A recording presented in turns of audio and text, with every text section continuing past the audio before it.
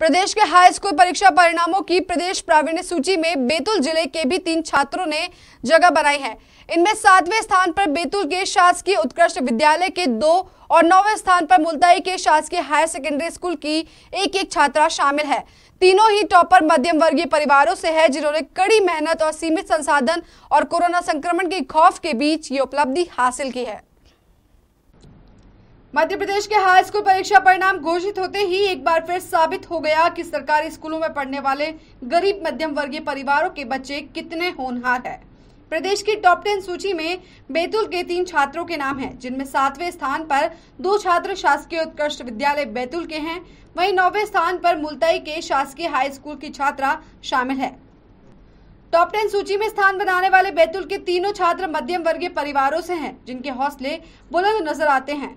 मिसाल के तौर पर मिली बैतूल के शासकीय उत्कृष्ट विद्यालय की छात्रा शीतल मानकर से, जिसने प्रदेश टॉप टेन सूची में सातवां स्थान पाया है। शीतल के पिता एक शोरूम में कर्मचारी है, लेकिन उन्होंने अपनी बेटी की पढ़ाई में कोई कसर नहीं छोड़ी है, और इसीलिए शीतल भी अपने पिता के सारे सपने पूरे करने की ठान चुकी है। वहीं सातवीं ही रैंक पर आए यश इंगले के पिता का फुटवेयर का व्यवसाय है, और वो सॉफ्टवेयर इंजीनियर बनाना चाहते हैं।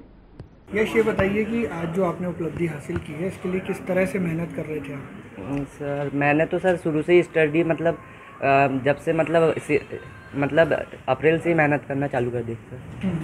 कितने घंटे रोज़ पढ़ाई करते हैं? सर शाम में चार घंटे और सर सुबह तो सर जितना टाइम मिल सके सर उतना। आपके फादर क्या करते हैं? सर पापा की सर चप्पल जूते की दुकान है और सर कृषि करते हैं।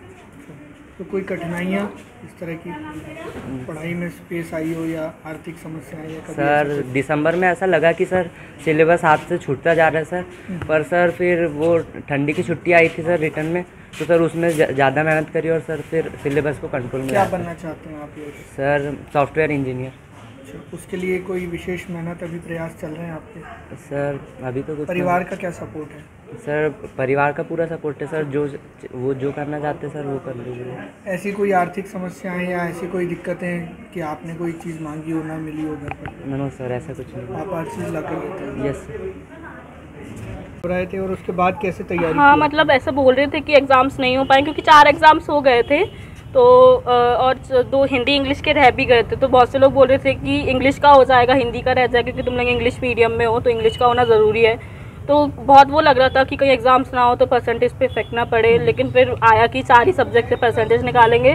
तो उतना कोई वो नहीं लगा टेंशन नहीं लगा कि चार सब्जेक्ट के निकालेंगे तो चारों के बीस भी परसेंटेज देंगे।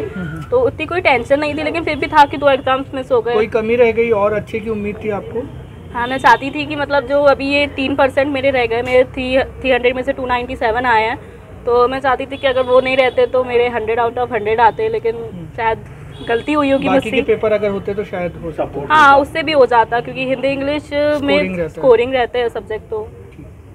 सच्ची बताऊँ तो मैं ऐसे मतलब लगातार नहीं पढ़ सकती पाँच छः घंटे। फिर भी मैं मतलब ब्रेक ले लेके पढ़ती थी। मेरे को मतलब अजीब सा लगने लगता था ज़्यादा घंटे पढ़ो तो तो मैं कभी आधे घंटे मोबाइल चला लेती थी या कुछ भी मतलब मूड फ्रेश करने के लिए।